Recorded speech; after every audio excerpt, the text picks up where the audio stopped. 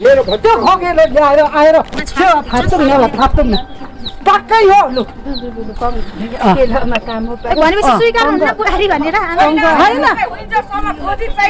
खगे पनि यहाँ आउनु पर्छ आउनु पर्छ खगे यहाँ आउनु पर्छ बारी ल्याएर आयौँ भनेर मन परेको बारी ल्याएर आयौँ भनेर खगे आउनु म एक वर्ष चामल ल्याएर खसी म किन्छु साँच्ची नै लु। खसी किनेर हुँदैन।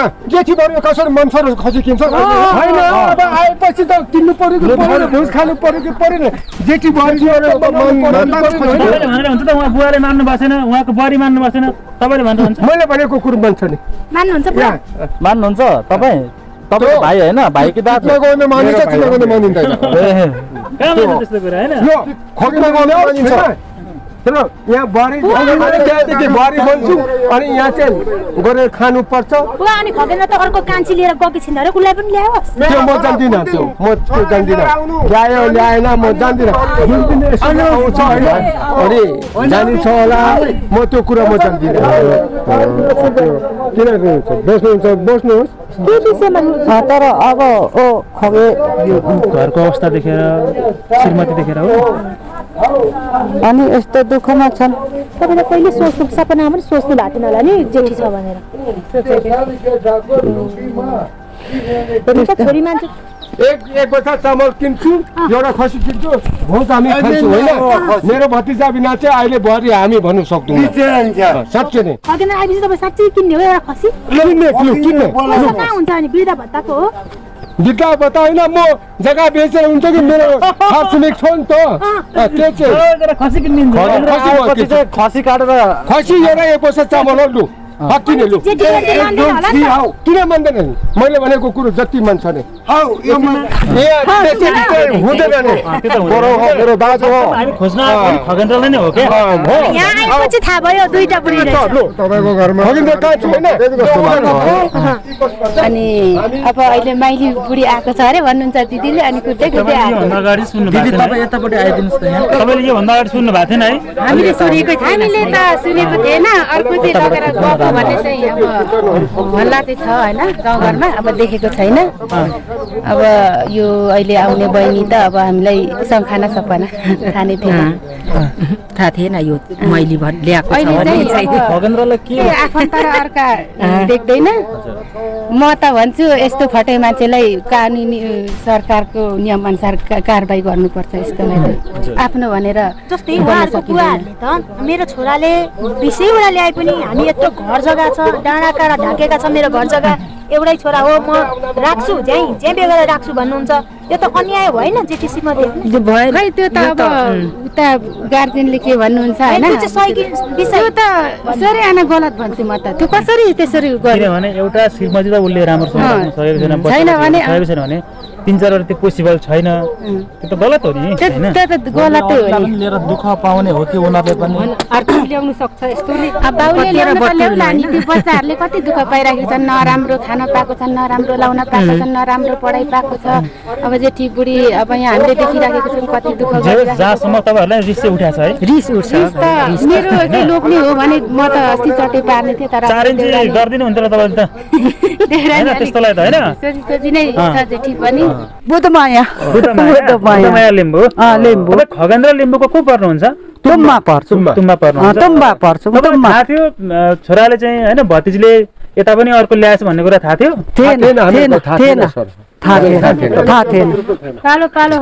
अनि एकैचोटि तपाईँ यहाँ भेट भयो।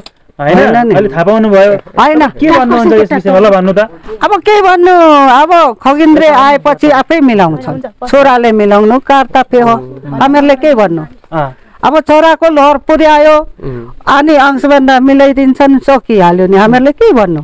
यता सासू छन् ससुरा छन् म त तुम्बाट म चाहिँ स्वीकार्दिनँ भन्ने एकदम रिसाउँदै हुनुहुन्थ्यो। म बुहारी नै स्वीकार्दिनँ भन्ने होइन म त त्यसै भने कि तर म चाहिँ कुरा बुझ्नु भएको थिएन आमाले। कुरा बुझ्नु भएन अनि ओ, अब बुहारी आएर अनि हामी स्वीकार्छौँ। अनि विगत आठ वर्ष अगाडि चाहिँ मलाई विवाह गरेर खगेन्द्रले तापले चाहिँ केटी लगेर त्यो झिलझिलेमा राखेको रहेछ होइन? अनि विगत चार वर्ष। सम्पर्क बिन भएछन्। खोज्दै खोज्दै आउनु भएको छ। अब तपाईँको हो। नाति नै भनौँ न होइन? नाति आठ वर्षको पुगेर छ। राम्रो नाति।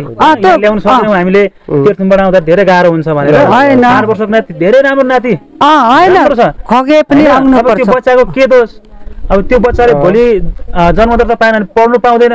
पछि नागरिकता पाउनु भने पैसा कमाउनु सक्दैन। उसले के लाइफमा केही गर्नु सक्दैन जिन्दगीमा? होइन?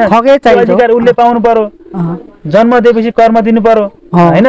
के लाग्छ यस विषयमा भनिदिनु त? हुन त अब त्यो कुरा। त्यो पनि नाति नै हो। माया त लाग्छ तर खगे पनि आउनु पर्छ ओ बुहारीले ल्याउनु पर्छ हामीहरूले खगे देखेको छौँ न। कति वर्ष भयो हाम्रो छोरा। छैन खोज्दै खोज्दै आएको हाम्रो साथमा। हामी खगेन्द्रै खोज्न आएको। आउँदा दुःखको कुरा। दुःखको कुरा। श्रीमती र तिनवटा छोराछोरी पनि दुःख पाएर बसेका रहेछन्। दुःख पाएर दुःख पाएको छन् अब हेरेको पनि छैन केही पनि छैन अब त्यसले के गर्नुपर्ने ओ खगेले चाहिँ लिएर आउनु। अनि कुरा कहानी मिल्छ कति भयो लास्ट टाइम अन्तिम पटक चाहिँ कहिले आउनु भएको थियो हामीहरूले थाहा छैन हामीलाई थाहा। थाहा चार वर्ष। भयो कि कति त्यो झलक्कै आएको। थियो सर हामीले त्यो थाहा छैन सरहरू हुनुहुन्छ। हामी त्यो। गर्छौँ हामीले थाहा छैन कतिखेर आउँछ कतिखेर जान्छ कतिखेर अब विभिन्नै विभिन्नै। हामीहरू बसेको अब मेरो श्रीमती हो त्यसो हामीहरूले थाहा छैन। अहिले भर्खरै फेरि चाहिँ तिन महिना अगाडिदेखि यहाँ चाहिँ कमेनी या दमिनी लिएर फेरि खगेन्द्र त फरार छ भन्ने त्यो हामीले थाहा छैन हौ त्यो। त्यो उतै त्यो हामीले औँसीमा थाहा छैन। भयो कुरा। औँसीमा भनेको अनि हामीलाई थाहा छैन, भयो कुरा। थाहा थाहा छैन। त्यस्तो हल्ला। तेरो छोरी पो ए तेरो छोरा पो भन्थ्यो तेरो छोरा भन्थ्यो। मेरो त होइन नि। भन्थ्यो। तेरो तेरो कमेनी लिएर गएको छ भन्थे। त्यसो भन्थ्यो। अब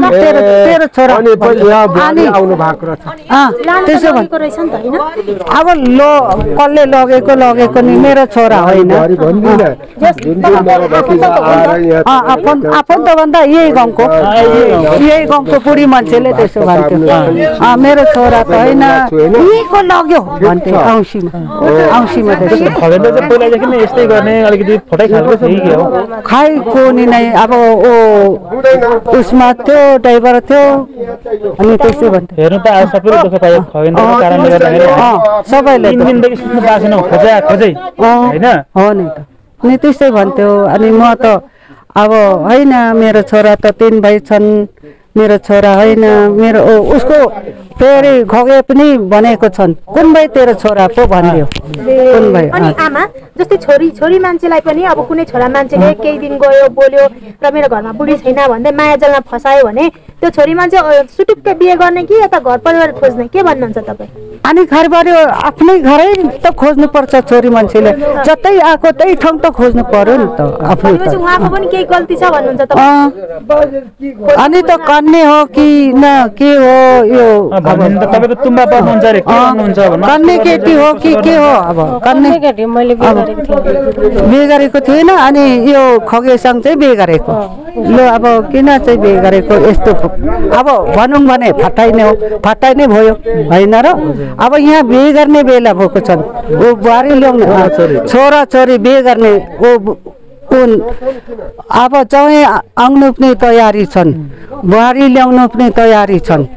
पुरा उमेर पुगेको उनलाई पनि एक खालको ढाँटेर के मेरो विवाह भएको छैन छैन म सिङ्गल छु भनेर ढाँटेर। विवाह गरेको रहेछ कि? म पनि किन आउँथ्यो र? अब त्यसले त त्यसले त ढेङ्ग्रा लाउनु पर्ने अब केमा अब त्यही भाटै भाटै भयो। अब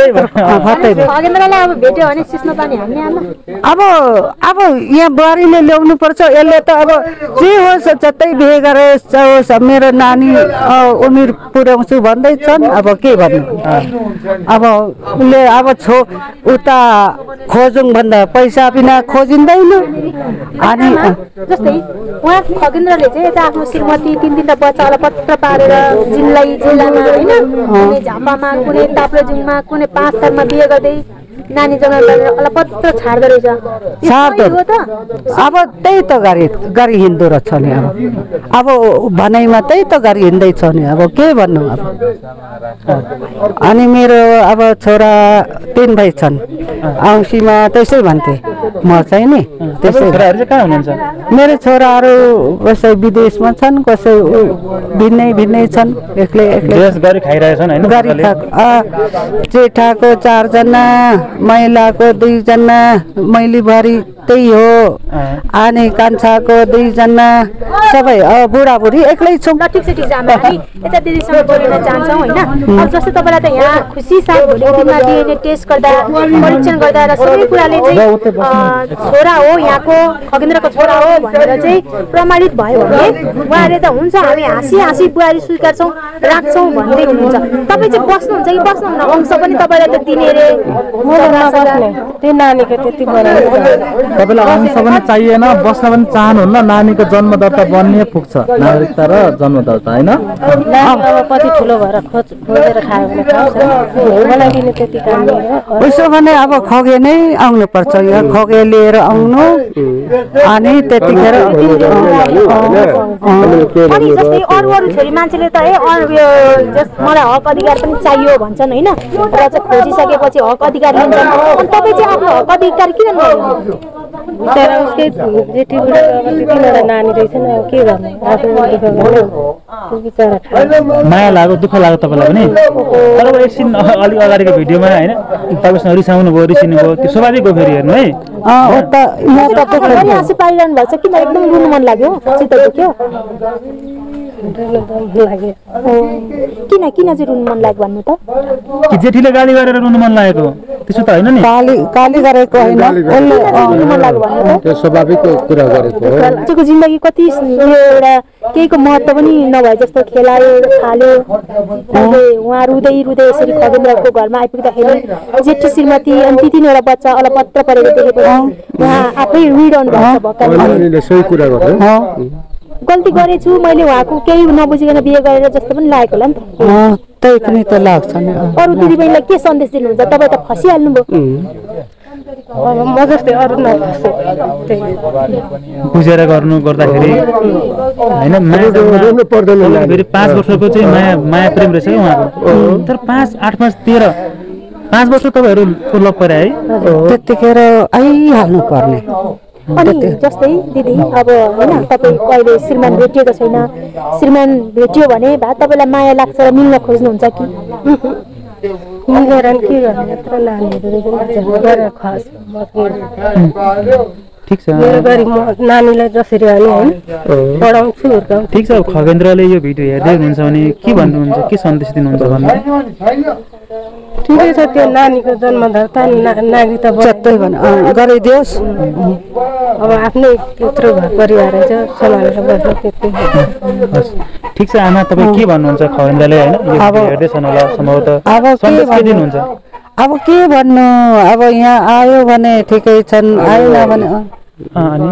अनि आएन भने अब उतै खगेन्द्रले चाहिँ त्यो नानीले सम्हालेर ऊ नागरिकता बनाइदिनु गाह्रै लाग्छ नआए हुँदैन।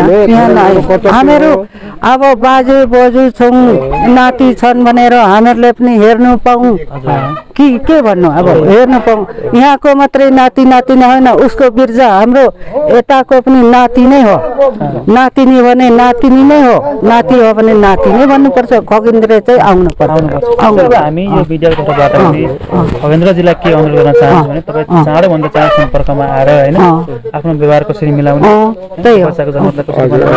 आएर सल्लाह गरेर चाहिँ गर्नु पर्यो भनेर हामी पनि अनुरोध गर्छौँ। त्यति नै हो।